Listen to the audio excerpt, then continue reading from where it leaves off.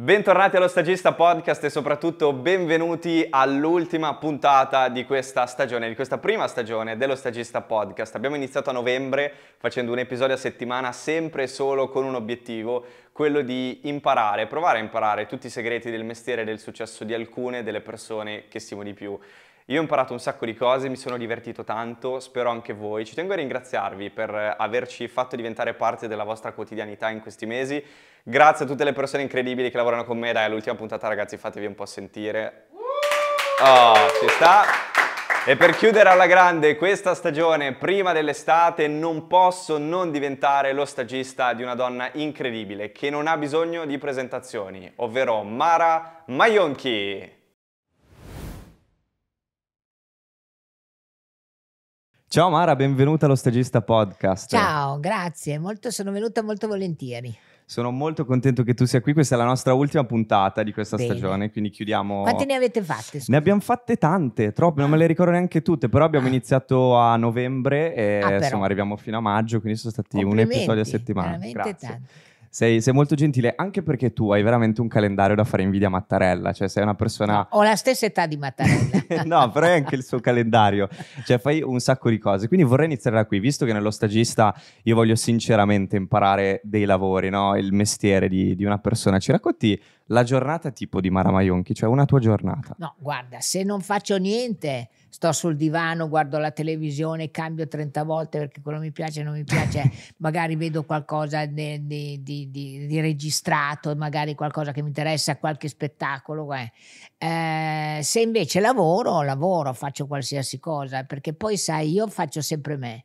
Non sono, capace, non sono un attore, non sono capace di fare qualcosa, sono terribile perché divento improvvisamente sorda, muta, non parlo, non riesco, non riesco a entrare. Se invece parlo di me, vabbè, quello mi è più facile. E per- se faccio io, eh, cioè fare il giudice, io facevo il giudice senza la pretesa di essere un giudice vero, ma di, di dire quello che pensavo io di quella cosa lì, che poteva essere anche sbagliato, ma eh, purtroppo la vita è così. E Immagino sia stata anche la tua fortuna essere così sfacciata e sincera nel fare quel lavoro lì. Ma guarda, sì, credo di sì, in parte il mio carattere mi ha aiutato, sì, perché poi sono un'invenzione, mi hanno inventato in tutti i modi, mi sono inventata nella disco, sono stata un inventore di me stessa, devo dire, ho cominciato a lavorare, figurati, non erano ancora nati i tuoi genitori, nel 59. Non erano ancora nati, no, no, in effetti... Infatti, erano I tuoi genitori, nel 59 ho cominciato a lavorare in un'azienda che faceva spedizioni internazionali di cui io non sapevo assolutamente, poi dopo un po' ho imparato e allora imbarcavo a Genova, imbarcavo nelle varie zone di navi che andavano, cargo che andavano oltreoceano. Poi sono venuta a Milano perché secondo me Milano in quell'epoca rappresentava la speranza del lavoro, del cambiamento, di trovare cose che magari in una città molto carina, molto bella che mi ha dato i Natali che è Bologna, magari c'era ancora un, un mondo meno possibilista. Sono venuta a Milano e ho fatto di tutto, dagli anticrittogamici agli impianti antincendio. Poi, poi è cominciata la storia con un annuncio sul Corriere della Sera in cui si diceva cercasi segretaria per ufficio stampa di una casa discografica che era l'Ariston e che adesso non c'è più. Infatti una cosa che mi colpisce sempre quando penso alla tua storia è che tu l'hai raccontato in mille interviste, Eh a differenza di molti non hai mai avuto il grande sogno di arrivare a fare un lavoro. Tu hai sempre detto, io facevo più o meno quello che, che mi capitava. Sì, mi- sono curiosa, mi divertiva sentire, vedere queste cose. Sì, non ho mai avuto, anche perché forse non avendo fatto uno studio, uno studio preciso, non avevo già un'indicazione, una voglia. Io andavo all'avventura e devo dire sono stata molto fortunata, questo devo dire di sì. Quindi un bel giorno tu su un giornale trovi l'annuncio in cui si cercava una segretaria per un sì, ufficio per l'ufficio stampa. stampa. Quindi è un po' lì che inizia la tua carriera nel Beh mondo sì, mi sono della presentata e il grande capo mi ha assunto. Ecco, una- la prima domanda te la voglio fare qui. Sì. Immagino che una cosa del genere oggi, nel 2023, sia irripetibile. Quindi provo a chiederti, una ragazza o un ragazzo che oggi sogna di fare la stessa carriera, però a distanza di molti anni, come deve fare? Ma secondo te? intanto io capisco che i tempi sono cambiati, non c'è dubbio, c'è meno possibilità, però non avere una scelta precisa.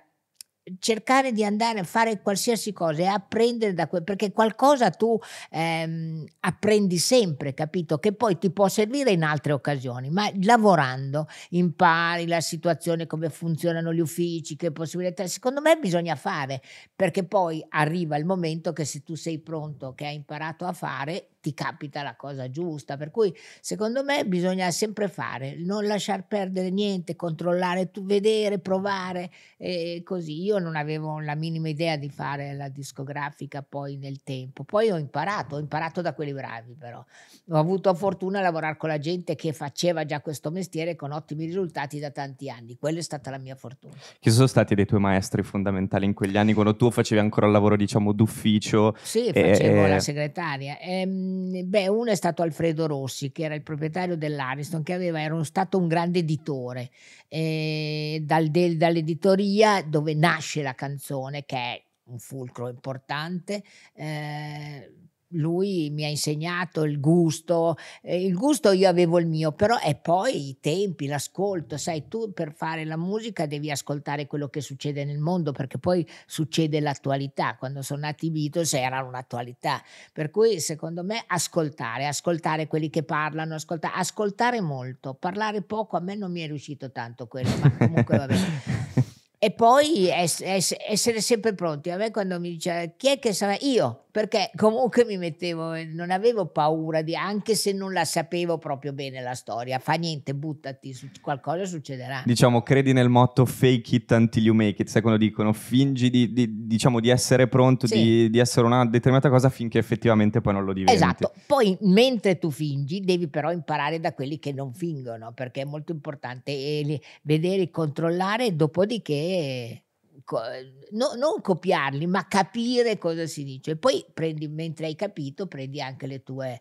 le tue possibilità. E ti ricordi quando è stato il momento in cui hai detto, sai che forse, forse sono brava a fare il lavoro di discografica? Sì, Mhmm, è stato la facevo la promozione, eh, la promozione de ehm, è stato quando Battisti e Mogol mi hanno chiamato per andare alla numero uno e ho pensato che qualcosa non è che avevo fatto, ma insomma mi ero messo in luce con due persone che sicuramente il mondo della canzone la conoscevano bene ti voglio fare una domanda su, su Battisti, te l'avrei fatta dopo, ma, ma, l'hai citato. In tantissime interviste tu dici eh, la cosa che mi ha sempre colpito di Battisti è che lui ha introdotto, ha portato in Italia, nel mondo della musica, la canzone moderna. Sì. Mi racconti a me, soprattutto che purtroppo per ovvi motivi d'età, quegli anni lì non li ho vissuti, qual era la, l'innovazione che ha portato Battisti? L'innovazione era la struttura della canzone, eh, perché noi mhmm, praticamente la canzone lirica veniva dalla lirica, cioè c'era stata la, la, la, la, famosa romanza, questa era la canzone di un'epoca.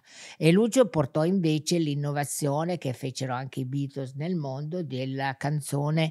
Ehm, intanto il racconto, intanto il modo di esprimersi, cioè non il cantante tradizionale che per amor del cielo va benissimo, è, ma è un cantante che racconta una storia. E poi la divisione, la ritmica, l'uso delle, delle, delle, degli arrangiamenti, insomma c'è stato un notevole cambiamento con Lucio. E a proposito di alcuni degli artisti con cui hai lavorato, te ne voglio citare alcuni eh, e vorrei che per ognuno di questi mi dicessi la prima cosa che ti viene in mente. Sì. Proprio eh, una delle prime artiste con cui hai lavorato è Ornella Vanoni, per esempio. Sì, beh, fantastico. Ornella è simpatica anche adesso che ha insomma qualche annetto. È una donna che veniva dal teatro, eh, per cui conosceva, ha cominciato con le canzoni della Mala e poi pian piano si è portata nella musica leggera. Però ha sempre avuto un buon gusto. E buon gusto. So che hai conosciuto anche Franco Battiato, quindi sì. non posso non Beh, chiederti fantastico. qualcosa anche su di lui. Beh, devo dire, è stata una delle persone più intelligenti e più, più belle che io abbia mai conosciuto. Franco era fantastico. Poi su Lucio Battisti l'abbiamo Beh, detto. Lucio era fortissimo, era proprio un uomo eh, di poche parole, di grande lavoro. Lui lavorava come, come, se, per, come, se, fosse in ufficio. Lui si alzava la mattina alle nove e mezza come si sedeva, perché vedi, trovare un riff, trovare una melodia, trovare, non è che ti viene, devi provare, devi cercarla, trovi un'idea, ti piace, allora cominci a lavorare su questa idea, cioè non è che la canzone viene, cioè devi lavorare per trovare, per sentire, Beh, lui era un lavoratore incredibile, tutti quelli che hanno avuto successo nella musica sono stati dei lavoratori incredibili, senza lavoro non vai da nessuna parte, questo eh, e ascoltare, ascoltare quello che è meglio di te, perché se ascolti quello che è peggio di te, di non te, impari eh, nulla. non impari niente. No, mi colpisce comunque questa cosa perché tantissime volte invece nell'immaginario collettivo delle persone, quando uno pensa ai grandi nomi della musica, pensi sempre che siano, non dico dei fancazzisti, però della gente che fa una vita molto rock and roll, diciamo.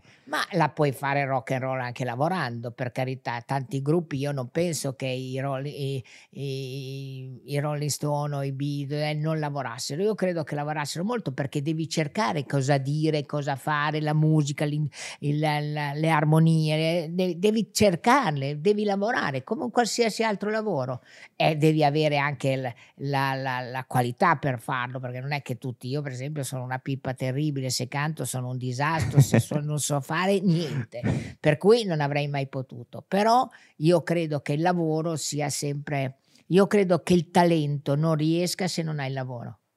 Questa è una cosa di cui sono certissima dopo tanti anni di esperienze. Tutti quelli che hanno un risultato, modesto, grande, non importa, lo hanno perché hanno lavorato, hanno cercato loro stessi, hanno cercato di dire delle cose che sentivano, hanno, hanno cercato. Io su questo sono assolutamente. Credo che l'invenzione, la, il momento che può avere di fortuna capita una volta, poi basta. Certo. Dopo se non lavori non trovi più niente. Ti faccio una domanda. Eh, tantissime volte ci sono degli artisti che si vivono male il fatto di aver fatto solo una canzone che ha avuto grandissimo successo.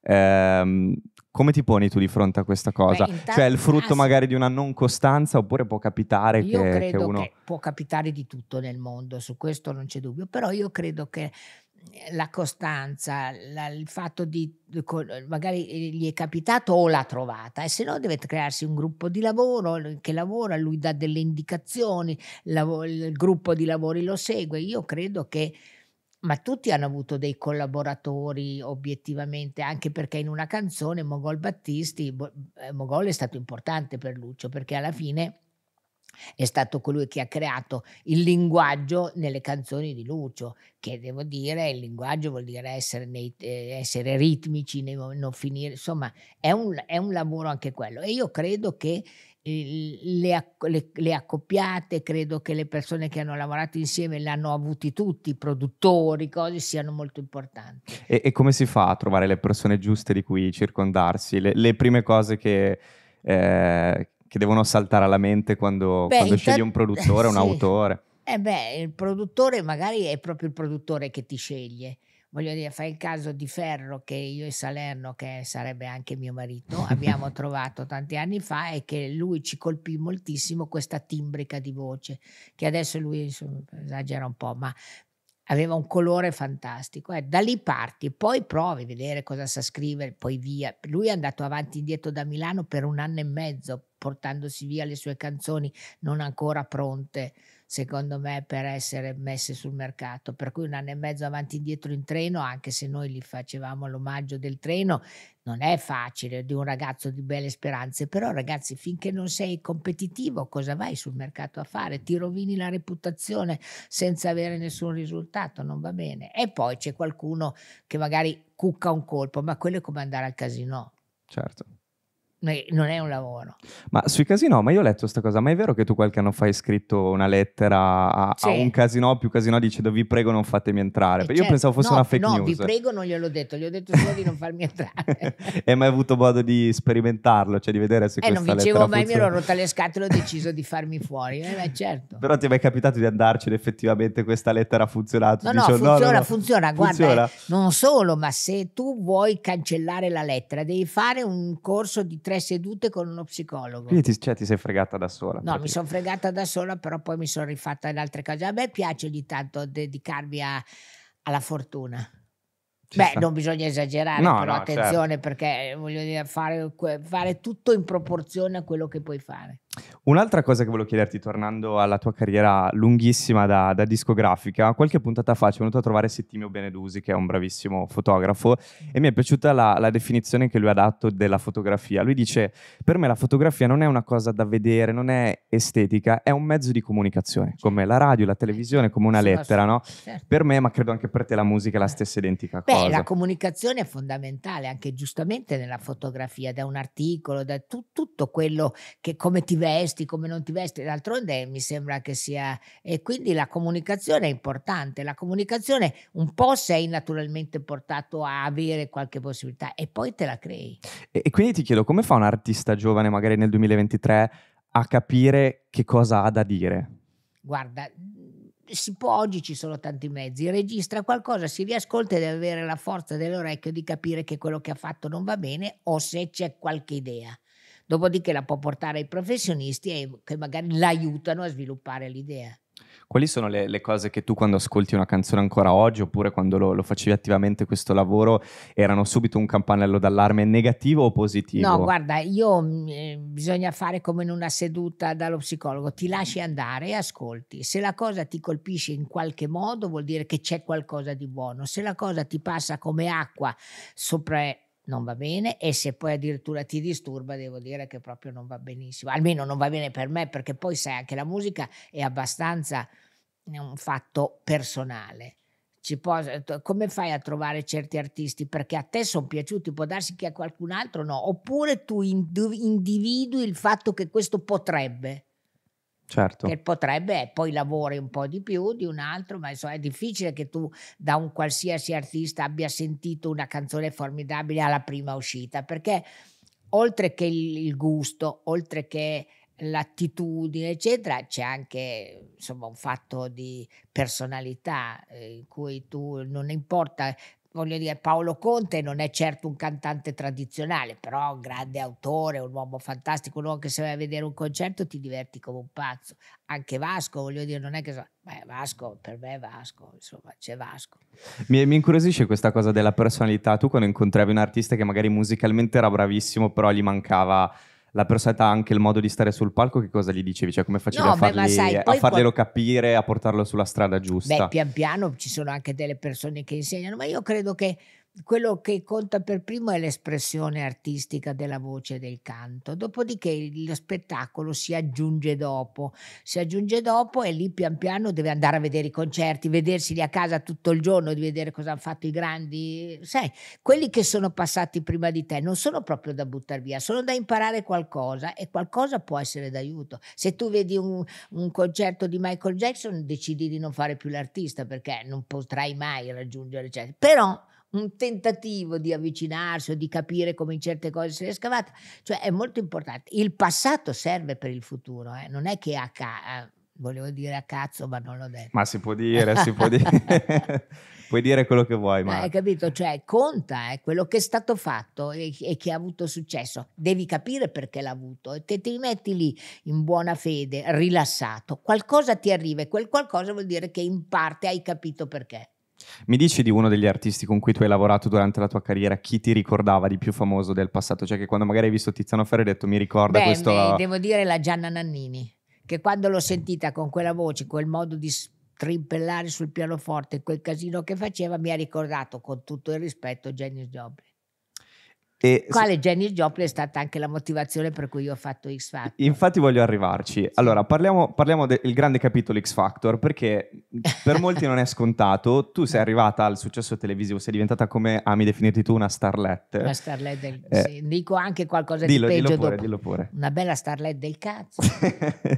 eh, è vero. No, dai. nel senso che tu la tua carriera da, da discografica l'avevi già fatta Com'è che un giorno qualcuno alza il telefono e dice Oh Mara hai voglia di fare questo no, provino? mi telefonò la Sony perché il programma era Sony e mi disse guarda ti chiamerà eh, come si chiama il sindaco di eh, Gori. Gori e mi chiamarono per fare un provino eravamo in tanti, in tanti c'era tanta gente a questo punto c'era Morgan e c'eravamo poi degli altri discografici eccetera e devo dire che è entrata una ragazza che con un fare un po' così come quelle siete, eh, dice canterò il pezzo di una ragazza, di una cantante americana formidabile che voi non so, non credo che conosciate, eccetera, eccetera, e canta e canta un pezzo di Jenny Joplin. Finito di cantare, io non, insomma, non, so, non ho resistito, ho detto, senti testa di cazzo, faccio, eh, come ti permetti di dire che non, assent- non, ascoltiamo o non abbiamo ascoltato o non capiamo già di già? Per cui, e lì Gori disse lei, e infatti cominciare, cominciare, per cui con la Ventura, che era una star della televisione, Morgan, che comunque era un artista che aveva già fatto le cose, io che non mi conosceva neanche la mia portinaia, cioè non, non, non so. però poi è andata bene, l'ho fatto quattro anni, poi l'ho rifatto dopo con Sky.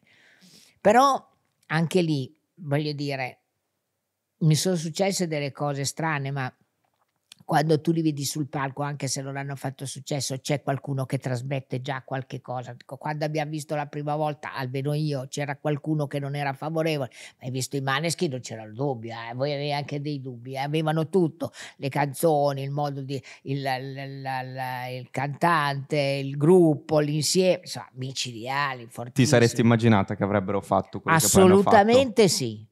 Ci avrei messo, su una scommessa ci avrei messo i soldi, sì, non c'è dubbio. Tra l'altro, però, l'edizione che loro hanno perso è quella L'hanno che ha vinto, per... diciamo sì, che sono arrivati i secondi. Mm. Eh, in realtà l'hai vinta tu poi con un altro sì, artista. Solo perché io ho scelto per l'ultimo, siccome chi vota è il pubblico e purtroppo sulle canzoni nuove un po' di lavoro va fatto, ho fatto fare a Licitra 4-5 pezzi micidiali nel mondo e su questo lui siccome cantava, cantava bene perché poi sai, cantare bene non vuol dire aver successo, è un'altra cosa. Certo. Eh, c'è, tutto, c'è il successo è un insieme di cose, non è solo ragazzi. Cantava bene, è stato più popolare, ma non importa che i ragazzi potessero fare successo, non c'era dubbio. E come fa un artista che fa un talent? Io credo che i mm. talent siano una gran... ci sono tanti pregiudizi, siano una grandissima opportunità. Sì. Come fai però o meglio, un consiglio che uno dovrebbe seguire per durare poi dopo un talent. Cioè, eh nell'esatto eh giorno in cui va in onda l'ultima puntata del talent, tu in che modo devi essere pronto e no, strutturato? Se sei riuscito a prepararti durante, meglio. Se non sei riuscito, che non hai ancora trovato, bisogna trovare le canzoni, il mondo in cui questo artista si possa esprimere, perché senza il mondo, senza beh, è una canzone che è fine a se stessa, ma la capisci già dall'inizio. E prima hai detto io sono diventata famosa che non mi conosceva neanche, cioè ho iniziato a fare X Factor e non mi conosceva manco il mio portinaio. Te la ricordi la prima volta in cui qualcuno ti ha fermato per chiederti una foto o un autografo? Beh, è stato dopo tanto tempo. No, sì, mi ricordo che mi sembrava strano che mi chiedessero una, una foto, l'autografo, mi fa morire ridere. No, perché io sono sempre stata dietro le quinte, per cui l'ho visto fare agli altri, non a me. Ma insomma, poi, poi siccome ho avuto fortuna che magari ero già un po' âgé, che la gente mi, eh, mi avvicinava con, con, gentilezza, con quasi una, come si ha con i vecchi, un po' di affetto, per cui è vero, e per cui mi è piaciuto molto. Beh, però è vero che tutti ti vogliono bene. È vero, non so perché, perché però, però è vero, è verissimo. Infatti mi, pia- mi piace, mi fa sentire, eh, mi fa piacere l'affetto delle persone. Però hai degli haters oppure neanche uno? Cosa sono gli haters? Gli, gli haters, quelli che ti criticano, i non ma fan, io penso diciamo. che ne diciamo. avrò, ma giustamente hanno diritto a, a, giudic- a, giudicarmi, perché se a uno dà fastidio le parolacce devo dire che io sono la regina, la regina del fastidio, ma non c'è dubbio che ci saranno, diranno cos'è che vuole quella lì. E ci sta, è giusto, è così, è un equilibrio tra il bene e il male. Ti faccio una domanda sulle critiche che magari per te è super banale, però soprattutto oggi che eh, sono molto più eh, palpabili Critici. perché tu sì. sei un artista, apri Instagram e magari trovi gente che ti scrive le peggio cose. Come fa un artista, soprattutto giovane, che sia un cantante o non un cantante, a rapportarsi cioè, con le critiche, tipo tu quando, quando, seguivi gli artisti, che consigli davi loro in questo senso? Beh, intanto voglio dire, se non sei in grado di leggere le critiche, è meglio non leggerle, perché sennò ti abbatti senza motivazione. A qualcuno sapere che a molti piacerai è sperabile e che ad alcuni non piacerai, per cui c'è un equilibrio tra, tra eh, piacere e non piacere. Questo è scritto nel cielo, per cui l'importante è se vuoi non leggerle, se non le leggi non sai chi ha parlato male di te. Vivi nella serenità. Vivi nella serenità. Come quando Amadeus quest'anno a Sanremo ha detto io fino a che non finisce il festival non leggo neanche un giornale, poi da lunedì inizio a... Chi era stato questo? Amadeus, Amadeus, Amadeus quest'anno. Sì, sì ha ragione perché poi le critiche ci sono inevitabili, il bene e il male, non c'è dubbio, le critiche le ha avute anche Battisti, io mi ricordo c'era un famoso eh, un famoso, mm, come si dice, che metteva di, eh, un famoso DJ radiofonico allora, importantissimo, al quale non piaceva Battisti. E tutte le volte, mi ricordo anche per voi giovani di, di, di come si chiama, di Arbore, dichiarò apertamente che non gli piaceva, lo trovava eh, banale, lo trovava ritmicamente sbagliato, per cui lui l'ha dichiarato più una volta e Lucio ha detto io sono questo qui, se non piaccio pazienza. E in quei casi come si fanno a gestire i momenti di down della carriera di un artista? Perché immagino quando uno vince Sanremo, gli va tutto bene, vende milioni di copie, è mm. facile essere lì no, a fare il manager, la gente piuttosto mm. che il discografico, eh, certo. dire va tutto bene. Quando invece non suona mai il telefono, che cosa, che cosa deve fare una Beh, persona che faceva deve, il, che deve intanto analizzare cosa ha fatto fino a quel momento per capire com'è possibile che non sia passata la, il canto, il modo di cantare. Modo, eh. All'inizio, se tu sei uno che cambia la situazione, che fai la differenza, non c'è dubbio che magari fai più fatica di un altro che è già più popolare a avere successo, però l'analisi è importante. Eh. Non, so, non, è, non, è, che non puoi dimenticare che se c'è qualcosa che non ha funzionato non sia in parte colpa tua. Sì, magari nel gusto, magari sei fuori moda, magari anticipi. Anticipare è una delle cose più difficili perché capisci che tu arrivi con un'assoluta novità in un mondo già abituato a sentire altre cose, fai più fatica, però sappi che se piace a qualcuno qualcuno potrebbe essere l'idea del cambiamento. Magari un investimento eh, per... Magari, eh, ma infatti bisogna investire sui giovani. Tu Mara, quanti festival di Sanremo hai fatto da discografica? Tanti. Sai te tanti, 36, 36, tanti. E mi dici la cosa più assurda che hai visto con i tuoi occhi durante la tua carriera? Cioè quella cosa che dici non ci crederete sì, visto, mai, ma non, ho visto... Ho visto con un pezzo che avevamo nel 1900... Eh, e non vincere Sanremo con ancora di decrescenzo. Quella è stata una cosa che non ho mai capito. Cioè che ci sei rimasta... Beh, non è che ci sono rimasta, insomma io alle prove quando lui ha cantato ancora si sono alzati tutti in piedi ad applaudire ed erano gente del, del mestiere, eh, è stato pompato in tutte le maniere dai giornalisti eccetera eccetera, poi arriva lì, è arrivato non so, decimo e questo mi ha un po' sbalestrato. Ok. E invece, quali erano dei capricci che tu non sopportavi quando accompagnavi gli artisti in giro che tu oggi che sei una starlet non, non, non hai perché sai che cosa si prova ad accompagnare allora, qualcuno? Eh, io credo che i capricci non li, non li, ho retti dalle mie figlie non ho capito perché dovrei reggere dagli artisti, anche perché eh, Battisti non aveva capricci, ti spiegava la motivazione per cui non voleva fare certe cose o non gradiva certe cose, per cui sulla, eh, e poi era talmente potente nel resto che le cose andavano andavano bene lo stesso, va bene. All'inizio lui ha fatto, perché si è mostrato di più, ha fatto un festival bar, però eh, i capricci inutili perché sei nervoso, perché sei agitato, adesso non è che il manager è la tua mamma, eh? Certo. Siamo seri, tu lavori, lavoriamo insieme, io ti faccio notare delle cose, se non ti va bene cambia manager, perché insomma non è perché le cose che vengono dette in genere servono che tu magari non noti qualcosa, le altre persone sono più abituate e ti danno dei consigli. Ecco,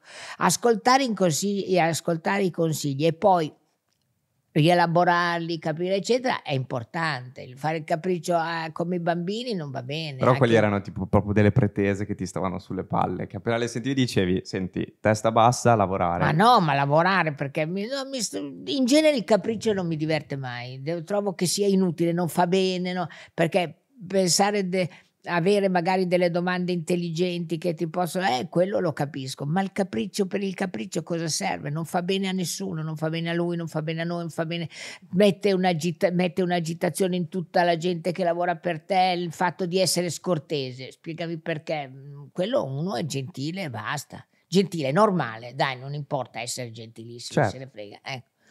E invece dei giovani chi ti piace? Adesso? Che ascolti? Mi piace Salmo, ultimamente non ascolto più tanto, mi salmo, mi piace Blanco, escluso lo sketch che ha fatto a Sanremo, che secondo me insomma faceva parte, aveva il, video che finisce così, no? Sì. Cioè, però mi piace, lui è interessante, mi, ma me ne piacciono tanti, adesso voglio dire, non è che...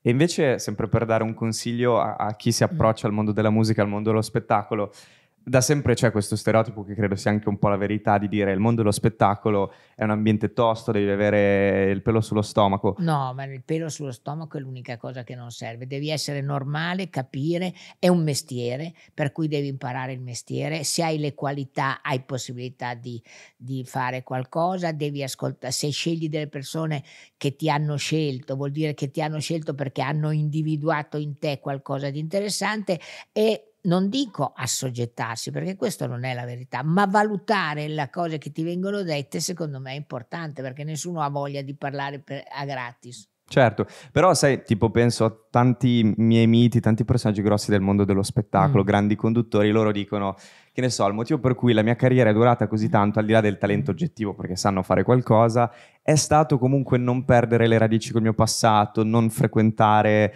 eh, diciamo, eh, gli ambienti più frivoli del mondo dello spettacolo. Secondo te c'è una strada giusta che uno, un mindset guarda, che uno dovrebbe am- avere quando sì. fa quel lavoro. No, secondo me devi essere una persona seria, anche se il tuo lavoro è, non è così serio, non è è futile, ma eh, secondo me la, mm, la, verità è che sì, ma bisogna essere sempre attenti, è un lavoro, molte volte la gente sbaglia pensando che è un divertimento, non è vero che è un divertimento, se sei serio è un lavoro, lo devi interpretare come un lavoro, per cui ogni operazione commerciale ha dei risultati, qualche volta bene, qualche volta male qualche volta va male. Se va male, valutare la motivazione perché potrebbe essere andato, ma se sei del mestiere l'hai visto. Vedere i tuoi artisti in televisione quando cantano le prime volte delle canzoni nuove è molto importante perché c'è chi passa più facilmente dal video e chi fa più fatica. Se fa più fatica, magari cercare di capire cosa si può smussare per arrivare più facilmente. Perché comunque uno non ci pensa, però cantare dal vivo a un concerto in televisione sono due cose totalmente Assolutamente diverse. diverse. Mi, sì. mi Tanto la televisione c'è il faccione in primo piano, eccetera. Il concerto sei più lontano e, e c'hai una situazione diversa alle spalle, c'è i musicisti dal vivo, c'è una situazione più autentica. La televisione non è che è finta, però eh, una volta poi si andava solo in playback, per cui in effetti mettevi la voce eh, sul, sul disco fatto, che è sicuramente migliore, perché n- non era attrezzata, non perché non erano capaci, non era attrezzata la televisione per le riprese live, per cui se invece è attrezzata, perfetto, il live è sempre migliore. Chiaro. E, e invece ripensando, me, me, mentre parlavi mi è venuta in mente, sai, la famosa dichiarazione che poi è finita su tutti i giornali di Maria De Filippi che dice uno dei miei più grandi rimpianti è che Ultimo sia passato da amici e noi non ce ne siamo accorti. Allora Meron mi portò Antonacci che aveva scritto le prime canzoni e devo dire che Antonacci non mi colpì particolarmente né per eh, vocalità né per, stru- né per, canzone e gli disse di no e poi Antonacci ha avuto senso successo e questo io sono contenta sono, ho sbagliato e meno male che ho sbagliato perché poi magari gli ho dato qualche intuizione, non lo so. La verità è che poi ha fatto successo e io non l'ho fatto. Questo sì, certo, lui è il più eclatante.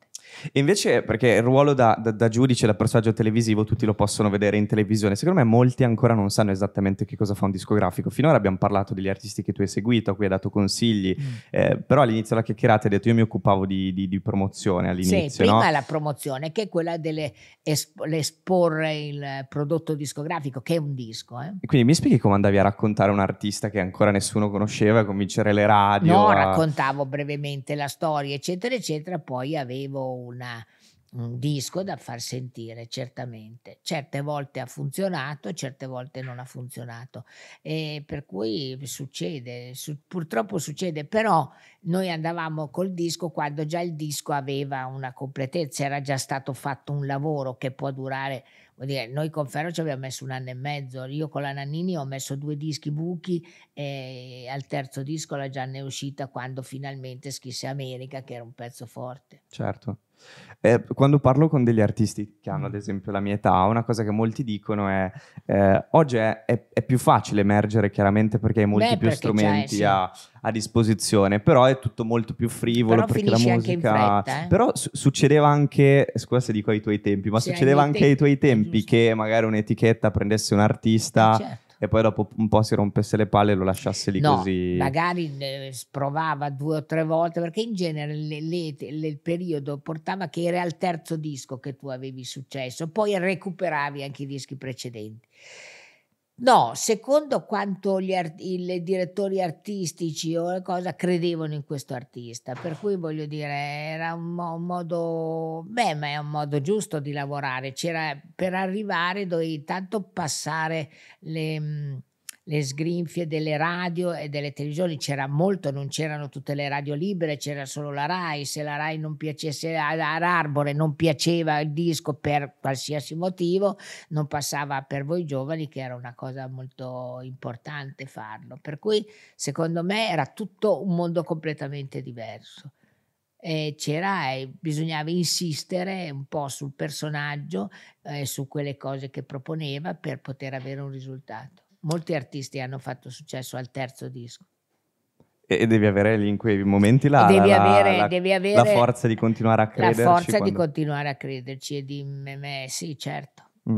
Anche la Gianna ha fatto successo al terzo disco. E lei cosa, cosa, pensava, tipo, dopo i primi due dischi? Ma la Gianna aveva, fatto, aveva vomitato, così dice così, i suoi primi due dischi liberandosi da un problema eh, che aveva, erano costati non tanto, ma da un problema per di, di, scrittura, eccetera, e non apriva la sua testa ad altre cose. Fatto, la comunicazione è importante se la faccio in modo che capisci tu, lui, lui, lui, allora va bene. Se invece faccio una cosa che per sfogare le mie... Beh, chi se ne frega, eh, voglio dire, non è detto, è proprio una tecnica. E quindi quando poi arriverò Michelangelo Romano, che era un produttore di venditi, eccetera, eccetera, Michelangelo la, lavorò molto con lei sulle canzoni e nacque America e tante altre, arti- e tante altre canzoni che erano tutte forti e che sono state poi il suo inizio, il, su- il suo successo. Così si lavorava. Certo, perché per arrivare I dischi al... però costavano meno, i costi erano molto più contenuti. Tipo quanto cosa? Parliamo anche della parte economica, nel senso che eh, chiaramente nello stagista, io sono il tuo stagista per un giorno, quindi voglio imparare concretamente quel lavoro. Da un punto di vista monetario, come funzionava? Cioè, un discografico guadagna Beh, delle adesso... percentuali, guadagnava no, un discografico guadagna sulle... No, l'artista guadagna sulle percentuali, il disco il, il produ- eh, ha delle percentuali che sono più basse all'inizio, giustamente, e anche perché molte volte il più basso all'inizio ti consente al terzo disco, quindi hai, tu hai già speso due dischi prima, di recuperare un po' di soldi di quelli che hai investito su di te. E si guadagna sulle edizioni, nel senso che l'editore, che sarebbe mm, sovente lo stesso, eh, la stessa mh, mm, la stessa ditta, la stessa mhmm, di, editore è discografico. L'editore, quando tu fai un, pa- un, pezzo fantastico, fai conto, ti cito un fatto familiare, mio suocero, il papà di mio marito, ha scritto tutto Carosone. Carosone è ancora un autore che con Tuvo fa l'americano, con questo e questo ancora incassa tanti soldi. La verità è che quasi sempre il, il discografico è anche l'editore della proprietà della canzone, l'editore. Ti voglio fare una domanda su tuo marito che sì, Alberto marito, Salerno, sì, un grandissimo sì, autore della musica, e ti vedo già dire no, no, anche meno, anche meno, anche meno. Eh. Mi dici secondo te qual è la canzone più bella che lui abbia scritto e la più brutta, se ce n'è una? Secondo me la più bella, la più bella è stata, eh, com'è che si chiama, un pezzo di zucchero, che, eh, madonna, eh, il rincoglionimento. Uh, ne ha scritte tante per Zucchero. Sì, so. sì, tante, vabbè. Donne mi piaceva molto perché infatti poi andò a Sanremo, arrivò nelle, nelle ultime, poi dopo a settembre cominciò a funzionare e funzionò. Um, Piccolo, un piccolo aiuto. Okay. che mi piaceva molto il concetto questa de, che cercava un piccolo aiuto cioè proprio uno che si accontentava. Beh era molto carino mi piaceva perché tante volte abbiamo bisogno di un piccolo aiuto cioè non serve un grande aiuto che quello ma però un piccolo aiuto ti rasserena ti fa stare tranquillo per cui mi piaceva l'idea la sentivo fisicamente unita a me. E invece quella che ti convinceva che ti ha convinto meno Bah. Puoi anche dirmi che sono tutte belle, eh, però no, te, te la volevo no, fare questa dire, domanda. Non è vero, non è vero, ci sono delle, delle, delle, misure. Adesso una che non mi è piaciuta, non, non te lo so. Beh, qualcosa ci sarà, sì, adesso sì. non me le ricordo tutte. Mi piaceva eh, senza pietà perché questa donna combattente la trovavo abbastanza simile a me, si ha sempre molto combattuto, combattuto qualche volta per cose inutili e qualche volta per cose utili, come sempre. Il combattimento purtroppo ce l'hai dentro, un casino. E, e, parliamo di combattimento. Mi dici un momento difficile della tua, della tua carriera? Perché ogni volta che chiaramente uno vede una carriera di grande successo, no, non per... pensa al fatto che ci siano stati magari anche tanti momenti eh, bui. Certo, Me ne racconti uno in cui non ti girava mica, una cosa sono giusta? Mica Superman, no, sono no, una persona infa... umana. È tutto, quando ho trovato difficoltà nella discografia, quando ho capito che non, non, mi capivano, quando ho spinto su cose, su alcuni artisti in cui mi chiamavano e dicevano Mara, ma qui perdiamo soldi, eccetera. Per cui quando ti fanno delle rimostranze di questo genere, devo dire, rimani molto male perché è giusto, un'industria, agli impiegati cosa paghi? Agli impiegati di pagare eh, lo stipendio, eccetera, lì lo pagavi con le edizioni, con la dischi di, eh, di, di, soldi che entrava, per cui eh, lì andavi veramente in crisi per due o tre giorni. Quando ho mandato Aida a Sanremo con un pezzo che a me piaceva ma che invece non ha avuto risultati, dopo mia mamma che era andato molto bene, per cui ho avuto dispiacere, mi è dispiaciuto. E sono stata in difficoltà, certo sono stata in difficoltà quando ho, ho, la discografia mi sono messa per conto mio, ho avuto grande felicità quando Ferro eh, eh, Perdono è andato in tutta Europa, una cosa eccezionale, eh, per cui mi, mi è dispiaciuto, non è che mi è dispiaciuto, ma quando eh, dopo tre anni di lavoro, dopo quattro, cinque anni di lavoro, poi Ferro giustamente doveva andare in una in- industria, in una major, perché avendo l'estero, eccetera, non c'è dubbio che era, diventava più difficile. Però quando ci siamo lasciati così senza dirsi perché, un po' mi è dispiaciuto. Però vabbè, chi se ne frega, poi la vita continua, dopo ho fatto altre cose. Ecco, solo questo. Mi è un po' dispiaciuto perché pensavo di non meritarmelo. E non so come è arrivato a Salerno perché non entro nel merito delle altre. Magari lo inviteremo nella, nella prossima stagione. Sì, invitalo, lo, ti racconto lo... delle cose terrificanti. Salerno mi fa molto ridere. Perché, perché dice, non è politicamente corretto. No, lui non è poli- non esiste la politica per lui, che è diverso. Non è che non è politicamente corretto, è troppo, è troppo corretto, non corretto, è troppo non corretto. Però prima abbiamo, abbiamo citato anche prima Tiziano Ferro, non ti ho chiesto come lo avevate scovato. Dunque eravamo andati a un concorso che faceva un signore a Sanremo, uno del mestiere, e ci ha presentato tanti artisti nuovi, di cui devo dire c'erano delle cose interessanti. Ma la cosa che più ci colpì fu Ferro con una canzone sua ancora confusa, però questa timbrica, questo colore di voce bellissimo secondo me. Eh, era, ci era piaciuto, l'abbiamo rincorso, gli abbiamo fatto l'offerta e ci siamo messi a lavorare. Poi lui, per cui ho, l'ho trovato sul palco di giovani artisti. In una città, vabbè, poi particolarmente... Cioè, ti dirò come quando la Gianna mi, mi, chiamò un mio amico di Siena e disse guarda è la figlia di uno molto importante. oh, mamma mia, ho detto qui adesso la solita rottura di coglioni che ti mettono il raccomandato di turno. Invece poi quando è arrivata si è messa al pianoforte, faceva una canzone terribile, però lei aveva questa foga, questa che mi è molto piaciuta, per cui io li ho sempre trovati a caso e la Gianna raccomandata che devo dire terribile per me fu perché ero già prevenuta al 100%. Eh, ci credo. Perché... Eh, perché quando ti raccomandavano qualcuno, era qualcuno che avevano già raccomandato ad altri 25 e lei non era andata bene. No, perché poi posso dire, lo dico anche al pubblico che ci sta seguendo, io ti ho conosciuto oggi e credo che anche fuori onda tu sia la persona più gentile alla mano del mondo, però io ricordo anche io quando tanti tanti anni fa guardavo X Factor pensavo cavolo ci fossi io su quel palco me la farei sotto perché comunque mettevi in soggezione tanto. Ma, Ma secondo me un po'. No, cioè, perché nel no, senso che sei esigente. con attenzione perché cerco di capire dove può essere importante, dove c'è un attacco, la motivazione per cui cominciare. La Gianna aveva questa foga, Ferro aveva una bella timbrica, eh, altri, vabbè, la PFM aveva fatto i dischi di tutto il mondo, in Italia erano i migliori, eh, tanti artisti, per cui voglio dire, uno un autore forte, capito? tante le motivazioni, tant'è vero che eh, Paolo Conte, che era eh, una, un autore, poi alla fine cantò perché la sua, il suo racconto, la sua interpretazione delle sue canzoni era veramente unica, ma voglio dire, grande. Iannacci, eh, ecco, le persone più, più eccezionali che ho conosciuto sono Enzo Iannacci e Giorgio Gaber devo dire micidiali. E Enzo era troppo forte, veniva nel mio ufficio ed era venuto in moto, aveva il giornale, sai, sotto la giacca, mi faceva come faceva. Eh, molto forti, molto forti. E so che tu hai lavorato anche con De André.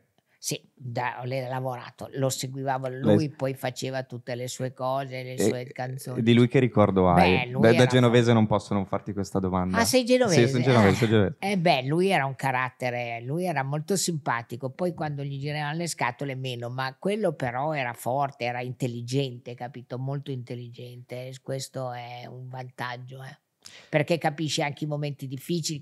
Lui non aveva mai voglia di scrivere, perché quando lui scriveva, quando ha scritto il disco degli indiani, ha letto 8822 libri che raccontavano, cioè non arrivava, era, arrivava preparato quando scriveva un disco e dava delle cose e si preparava anche come scrittura, come storia, il racconto, il perché. Ragazzi, eh, qui a fare i dischi non è che ti metti lì e, e fai le famose canzoni della cameretta che poi non gliene frega più, eh, perché poi sempre ste camerette, due coglioni, no? Allora invece Fabrizio era, so, questa gente era colta, colta. Leggere i libri, leggere i libri, leggere, imparare, capire, molto importante, anche perché così racconti qualcosa di, di interessante, di particolare che solo tu sai fare. E come si fa a diventare insostituibili? Eh, cioè, come si fa a capire la propria, la propria unicità? Um, oh. Cioè, ti è capitato di magari far notare a degli artisti una loro particolarità, Beh, quindi dire prova a far leva sulla cosa, quella cosa Beh, lì, ma magari da parte anche loro. caratteriale. Non... Una cosa, per esempio, io quando ho cominciato a lavorare, sono arrivata alla Fonnicetra mi hanno detto guarda c'è un po' di artisti da, insomma, da mandare via perché non hanno fatto niente eccetera e sente ascoltai abbastanza. A un certo punto sento e sento una voce spettacolare che era Mango.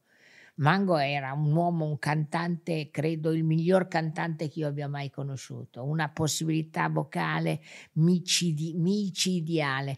Però stranamente quando gli fecero una proposta per andare all'estero, eh, che gliela fece un produttore inglese molto forte, lui lì non volle andare. Perché si concentrava sull'Italia. Non, non, so dirti perché, non ho mai capito, forse lo capirò se un giorno ci incontriamo, magari lo capisco, perché era veramente un cantante internazionale. Perché secondo te avrebbe dovuto farlo, ah, prendere andare? Ma stai scherzando, aveva una, quali, una qualità di un modo di cantare bestiale, la prima, intonatissimo, precisissimo, veramente forte.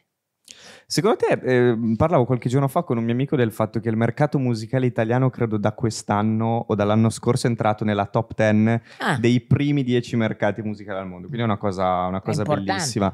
Secondo te perché noi da sempre abbiamo questo problema che o non ci crediamo abbastanza a noi di potercela fare all'estero, oppure effettivamente il limite linguistico è troppo grande, oppure Beh, il limite il, culturale? Il limite cioè... linguistico esiste, l'inglese, lo, il mondo è, appartiene a queste cose qui, quindi il, il, fatto di cantare in italiano è un po' negativo, non c'è dubbio. E... Il mondo è anglosassone. Certo. Invece un artista internazionale che, con cui hai avuto modo di confrontarti, di conoscere... Allora, C'è una cosa che, mi racco- che disse Bob Marley a noi della Ricordi, che era Island, lui era distributore Ricordi, che siamo rimasti tutti colpiti e che non abbiamo ancora capito se ci ha preso in giro, se ci ha detto la verità. Non l'abbiamo capito davvero perché ci sembra mai possibile, perché diceva che quando lui, perché aveva indovinato questo levare della chitarra? Perché qua arrivava alle radio dagli Stati Uniti, eccetera, e... Mm, e arrivavano tutte con disturbi, per cui c'erano... c'era questa storia del levare che lui poi l'ha usata per le sue canzoni. Non abbiamo mai capito se ci ha preso in giro o se ci ha detto la verità, però è stata una cosa carina. Rimarrà un mistero, ah, un mistero un per sempre. Certo. Invece parliamo un po', allora, prima abbiamo parlato, cioè abbiamo snocciolato tanto tutto il discorso della discografia, credo che abbiamo dato anche tanti consigli sì, utili, so. eh, a, secondo eh, me sì, a tanti, tanti, ragazzi che magari sognano di fare musica. Parliamo invece della televisione. Sì. Eh, mi racconti una tua giornata tipo durante uno dei programmi che hai fatto, ad esempio quando facevi X Factor, mm. no? Com'è che si avvenivano le registrazioni? Perché secondo me insomma è una no, cosa beh, che può incuriosire molti. Primo, noi durante i famosi provini ascolti in diretta i ragazzi che non conosci, non hai idea, lì, lì, lì, e lì devi decidere in 3-4 minuti eh, se sì o se no. Non c'è dubbio che se io ho dei dubbi dico sì, perché mi aspetto di risentirlo. Se non ho dubbi dico no. Per cui è molto facile, è semplice e devo dire che secondo me uno dei migliori giudici di Sfatto è stato sicuramente Morgan, che ha veramente è geniale. Peccato che abbia un carattere che non si sa mai se un giorno è giovedì o un giorno è domenica, però è sicuramente un ragazzo con delle qualità. E devo dire che insomma era semplice, sentivi e decidevi se no, sì. Invece vorrei parlare per un attimo di viaggi, nel senso che tu da qualche mese, in realtà l'hai fatto già l'anno scorso, hai fatto questo programma bellissimo che hai anche ideato con le brave ragazze. Sei stata in, in, cui no, no, no, in cui con due compagne di viaggio incredibili. Tutte Tutte, no, beh, però siete simpaticissimi, fate, fate, delle cose che io avrei fatica a fare a 23 sì, anni. Devo perché siete... la verità, anche noi magari a 80. La Milo ha 90 anni, io ne ho 82, la Berti ne aveva 80, per cui voglio dire, vedi te che bel gruppo di giovincelle. E con questo programma programma un bel po' di viaggi, anche in quest'ultima edizione sì, ve li sì. siete fatti. C'è un posto che non sei ancora riuscita a vedere nella tua vita, che sei lì che fremi, che vorresti tanto Ma, vedere? Guarda, sono molto curiosa nei paesi del nord, i fiordi, questo mondo così differente dal nostro, uguale all'Africa, d'altronde nello stesso modo differente. Per cui i fiordi, eh, certo, bisogna farli in, prima, in primavera estate, perché se vai dopo un freddo terribile, però così mi fanno curiosità. Magari la prossima stagione, se ci, farà, eh, se se ci sarà, buttiamo lì l'idea. E invece un'altra cosa che, che volevo chiederti assolutamente è, um, ci sono tantissime cose che vorrei chiederti. Che cos'è che ti ispira nella tua vita quotidiana? Film, libri, qualunque cosa? No, leggo, mi piace la storia, mi piace molto i libri di storia, sono, sono i miei preferiti perché hanno... Eh, e poi vedi come la storia si ripete, come... Mhmm, sono molto curiosa anche nei eh, documentari, guardo in televisione qualche volta, sono, voglio dire, documentari su artisti, su anche scienziati. Ieri ho seguito la vita di Tesla che era andato da Edison e che poi Edison non ha capito, per cui è molto interessante fare questo mi sembra che fosse polacco, rumeno, non si ricorda, era sicuramente slavo. E che quindi, ecco, mi piacciono, mi, mi incuriosiscono le storie di quelli che hanno avuto un risultato per vedere che Tesla ha fatto una fatica mortale. Per cui vedere se bisogna qualche volta la fatica la devi fare sempre per uscire dal guscio, è come quando nasci, la fatica la fa la madre il figlio, per cui voglio dire, fatica vedi a nascere, devi sempre fare fatica. Invece mi dici un consiglio che, che, ti ha dato qualcuno durante la tua carriera, durante la tua vita, che è stato così fondamentale che tu ogni giorno lo, lo tieni a mente?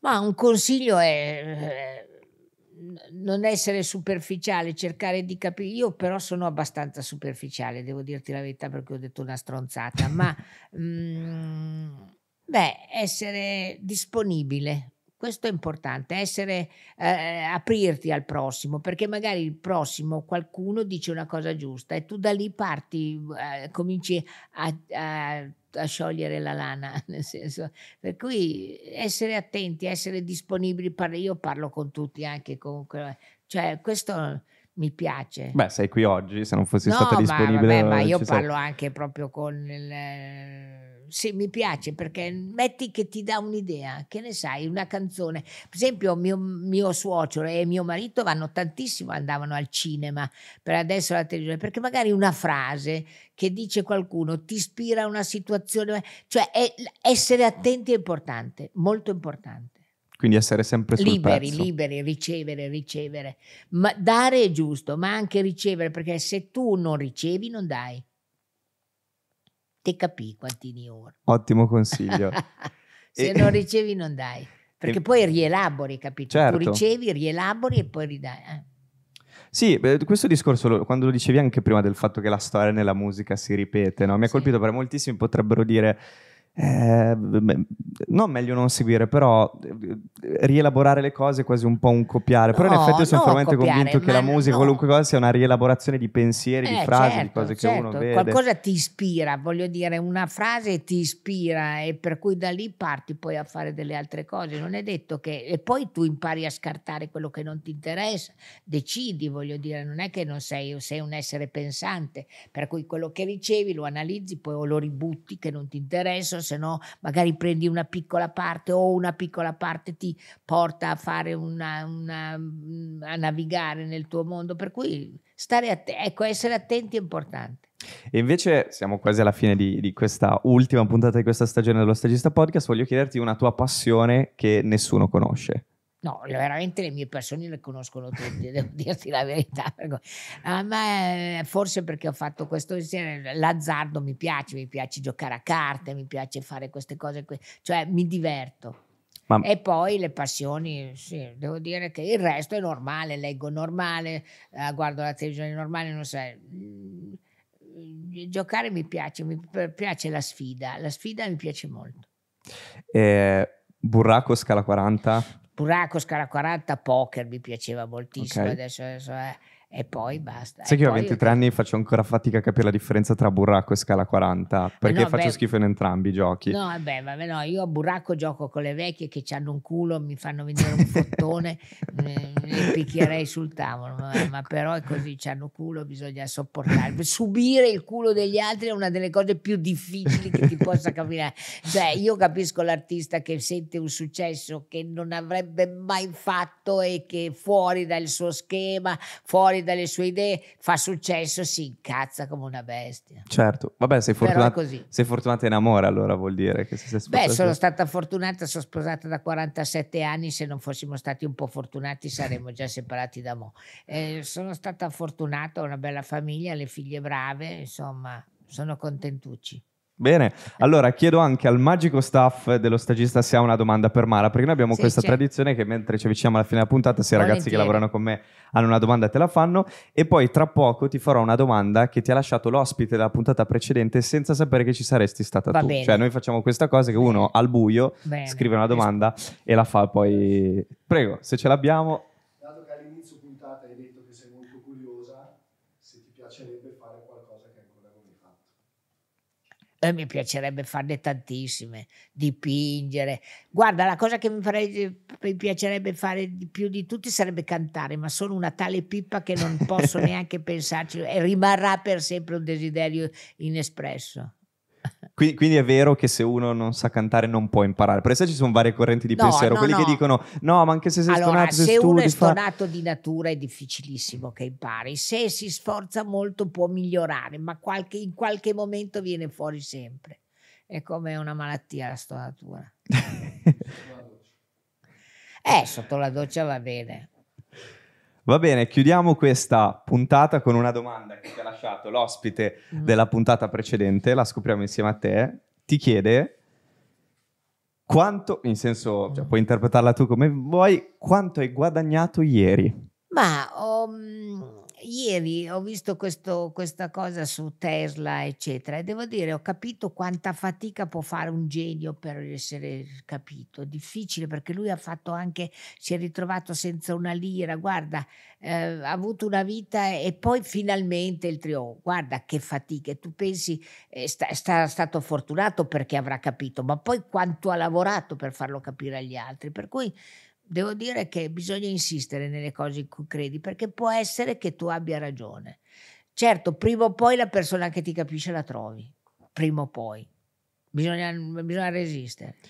Mi sembra un bellissimo consiglio per chiudere questa, non solo questa puntata dello Stagista Podcast, ma anche di questa lunga stagione che abbiamo passato Bene, insieme. Mi fa piacere. Mara, io ti ringrazio per è stato un grande Figurati. onore essere Beh, il tuo stagista per un giorno. Onore non esageriamo, è stato un piacere, mi, fa, mi, sembra più logico e l'onore è una cosa troppo no, importante. Vabbè, è stato un onore. L'onore è una roba troppo importante perché io sia venuta qui l'onore. No, il piacere, il piacere. Tu come, eri, tu come eri con i tuoi stagisti? Scusa se ti interrompo con eh, le persone che Ma io bene cercavo di fargli capire, ma io sono una persona abbastanza gentile, è giusto ogni tanto mi rompo i coglioni e allora dopo esplodo, dico delle cose brutte che magari non penso perché poi succede così, però sono abbastanza, abbastanza gentile, credo almeno, se non ho... Sì, cioè, sì. Cioè, Beh, come ti ho conosciuto io oggi, lo sei, sei no, meravigliosa. Insomma, no, sono così sempre, sono così, poi se mi inalbero mi offendo, capito? Allora divento più cattivella, però insomma no, capisco che poi ognuno anche offendersi è sbagliato, perché magari uno dice una cosa che non ci pensa, certe cose lo dice, ma insomma non è grave. Mara, grazie, è stata una Prego, bellissima mi chiacchierata. Ha piacere. Mara Maionchi, lo stagista podcast, all'ultima puntata dello stagista podcast. Figurati,